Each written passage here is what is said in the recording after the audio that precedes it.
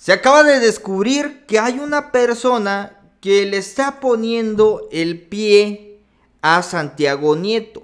Santiago Nieto no solo enfrenta la adversidad de pues enfrentarse a estos políticos corruptos que tienen eso sí muchísimo poder, ustedes saben de cuál poder estamos hablando y pues bueno, eh, arriesgando su vida, eh, Santiago Nieto saca investigaciones, saca denuncias, pero por ejemplo la Auditoría Superior de la Federación está poniéndole el pie, en específico un personaje interesante del cual no se habla, le están poniendo el pie a Santiago Nieto para detener las investigaciones en, en contra de nada más y nada menos que de Enrique Peña Nieto. Y de esto vamos a hablar, porque Enrique Peña Nieto tenía un novio, ¿no? Eh, Virgilio Andrade quien posteriormente él, a él lo está sustituyendo su hermano.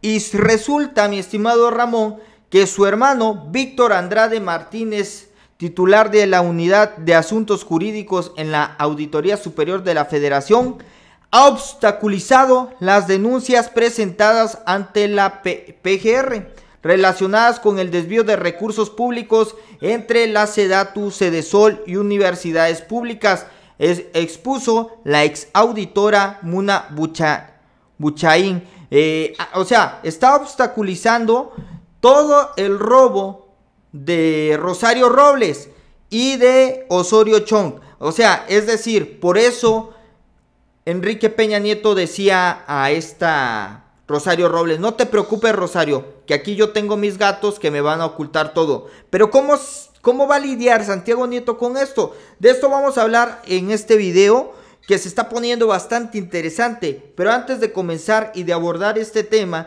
tenemos a nuestro corresponsal Ramón Flores que está desde el lugar de los hechos, desde la Ciudad de México. Y pues bueno, te escuchamos mi estimado Ramón, buenos días. Antes de comenzar, te invito a que te suscribas a este bonito canal para que te lleguen las noticias antes que nadie. Comparte este video, dale manita arriba y pues bueno, ahora sí. Buenos días, mi estimado Ramón, te escuchamos. Hola, ¿qué tal? Muy buenos días, mi estimado Iber. Pues aquí seguimos afuera de Palacio Nacional y voy a utilizar una frase que ha hecho célebre el presidente de la República, licenciado Andrés Manuel López Obrador, que dice que lo viejo no ha acabado de morir y lo nuevo no acaba de nacer. ¿Por qué utilizo esta frase, mi estimado Iber, del licenciado Andrés Manuel López Obrador? Porque Virgilio Andrade Martínez, ex secretario de la Función Pública y amigo del ex secretario de Hacienda Luis Videgaray Caso, exoneró al ex presidente Enrique Peña Nieto de presunto conflicto de interés en torno a la Casa Blanca.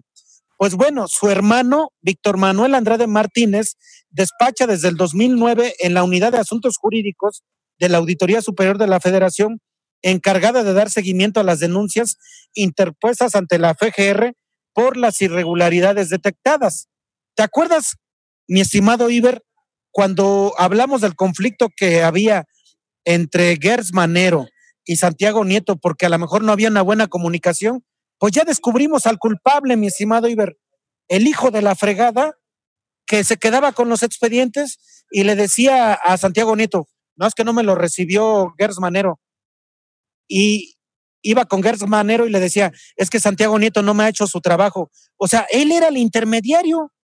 Por eso fue el conflicto de Santiago Nieto con Gertz Manero, mi estimado Iber, gracias a este reverendo cabrón de Víctor Manuel Andrade Martínez, porque desde el 11 de diciembre del 2012 hasta el 20 de febrero, 20 de febrero del 2020, el órgano fiscalizador ha presentado 825 denuncias penales derivadas de las auditorías desde la cuenta pública 2011 a la de 2018, periodo que abarca el último tramo del gobierno de Felipe Calderón y la administración pasada. Son principalmente contra la Zagarpa, la Sedatu y la Sedesol, entre otras secretarías de Estado, gobiernos estatales y municipales, de las cuales, ¿sabes cuántas solo han quedado en sanción, mi estimado Iber? De las 85, 825, ¿Cuántas? Solo cinco denuncias. Cinco denuncias han quedado en sanción y las otras 820, esas son las 820 que ha estado presionando Santiago Nieto y ahorita que ya descubrieron a este cabrón, pues yo lo que le pido a Santiago Nieto en conjunto con Gers Maneros que le diga al presidente que lo destituyan. Porque no puede ser el director de asuntos jurídicos y que diga, ay, van a denunciar al, al novio de mi hermano, a Peña Nieto. Ahí van a denunciar a, a Osorio Chong. O sea, están cubriendo todo este Víctor Andrade Martínez, mi estimado Ibra. Oye, y pensándolo bien, mi estimado Ramón, ahora que se, descubre cómo este personaje eh, quiere evitar que denuncien a Enrique Peña Nieto y que está ocultando información, o sea, por eso Rosario Robles está solicitando amparos. Ponte a pensar en eso. Porque resulta que entonces ha de decir, a huevo, como están ocultando mi información, ahorita es el momento que tienen mis abogados. Por eso los abogados se mostraban confiados y decían que iban a sacar a Robles en diciembre, pero esto no ha sucedido. De primera mano los abogados, mi estimado Iber, porque era este Víctor Manuel Andrade el que le filtraba la información de cómo iban las investigaciones. Por eso Rosario Robles se sentía con el derecho de decir, ay, voy a salir de la cárcel, voy a, voy a luchar contra ellos, voy a hacerles muchas cosas porque este cabrón les estaba filtrando la información. Ahora espérame, te voy a todavía, eh, porque esto va para largo, mi estimado Iber. Víctor Andrade tiene un uso indebido del ejercicio de sus funciones públicas por la falta de cuidado en la atención a las denuncias que se hicieron y que se negaba a presentar aún cuando se le habían dado las evidencias del desvío o el peculado por no darle el seguimiento adecuado ante las instancias pidiendo que se impulsara la acción procesal. Argumentaba que había que dar tiempo para que se solventaran cuando eran insolventables.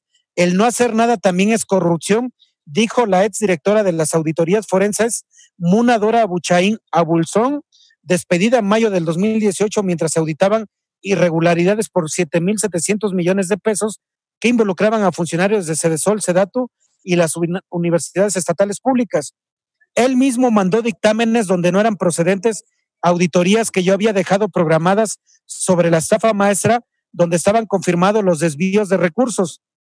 También estuvo muchos casos negando y obstaculizando que se citara a la titular de la Secretaría, Rosario Robles, y de repente salieron los informes de auditoría sin los nombres.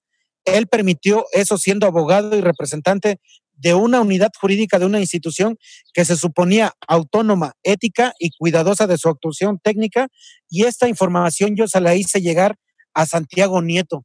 Pues bueno, ahí tenemos a una mexicana honesta que le hizo llegar la información a Santiago Nieto para descubrir el maldito que les metía al pie a Gers Manero y a Santiago Nieto para que no se hiciera el trabajo, mi estimado Iber.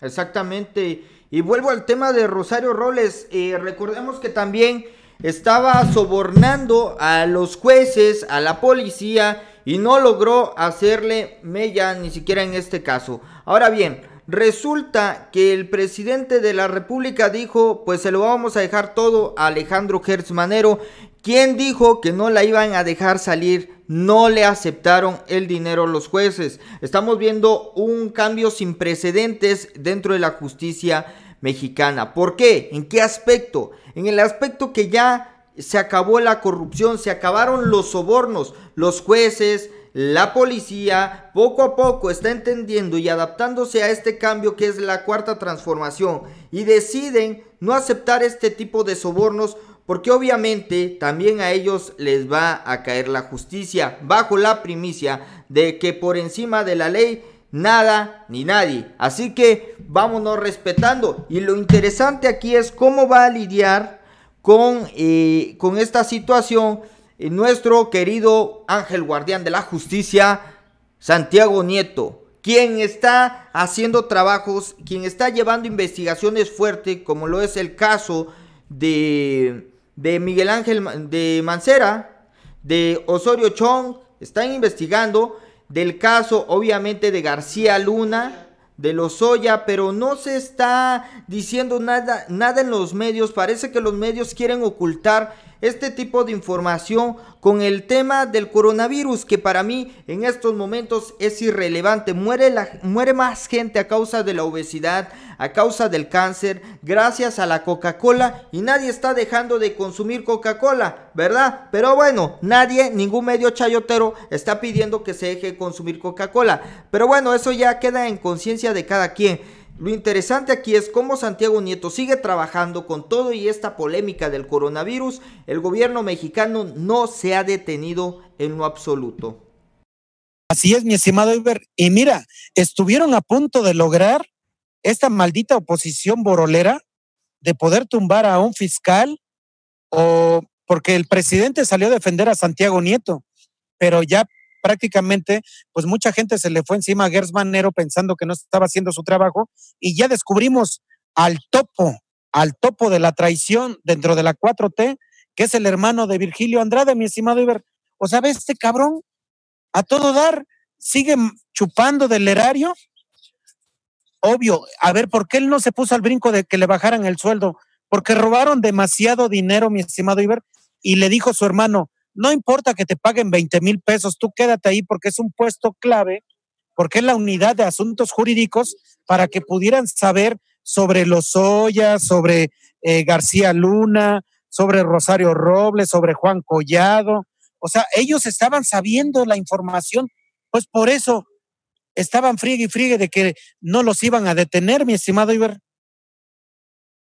Pues sí, se mostraban confiados, pero tampoco contaban con que la 4T tiene sus ojos y sus tentáculos en todas partes, así que imposible. Oye, mala suerte que lo tocó a este cabrón de Enrique Peña Nieto, ¿no? Mala suerte en el aspecto que oh, llegó alguien con pantalones como lo es el presidente Andrés Manuel López Obrador, quien dice, no me voy a meter en nada, pero voy a dejar trabajar a los organismos autónomos que es la fiscalía, importante, pieza fundamental en la 4T para impartir justicia la, el, el, renovar al Poder Judicial y que lo están haciendo. Y, y, pues bueno, Arturo Saldívar es de los primeros que se alinean a la cuarta transformación y entiende el mensaje del presidente y entiende el mensaje del pueblo de México, que no pueden estar solapando a los corruptos. Dos, dos pilares fundamentales la fiscalía, y, pero tampoco nos olvidamos ni de la auditoría ni de la unidad de inteligencia financiera que son fundamentales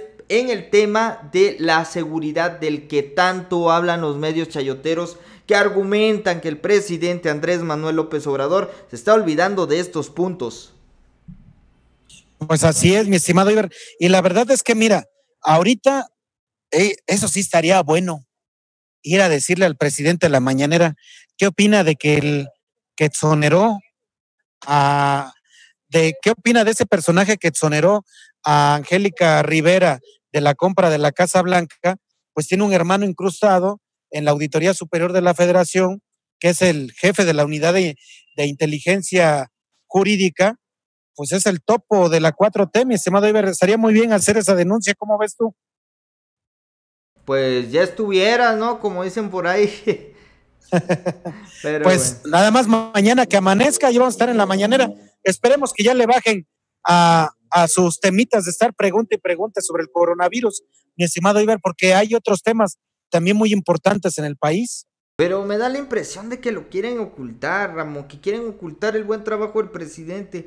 Por eso les pedimos que los manden a chiflar a la loma a esos eh, estúpidos, la verdad. Pues sí, mi estimado Iber, y la verdad es que ahorita con este descubrimiento que acabamos de hacer de este topo de la 4T, pues bueno, hay que irle rascando qué más puestos hay de la administración anterior que ahí tenemos incrustados para que ya se vayan a chiflar a la loma y dejen de estar robando, porque, ah, eso sí, quieren seguir ganando, aunque sea 20 o 30 pesos, pero quieren seguir en el gobierno para que piensen que son leales a las ratas que hubo en anteriores sexenios, mi estimado Iber.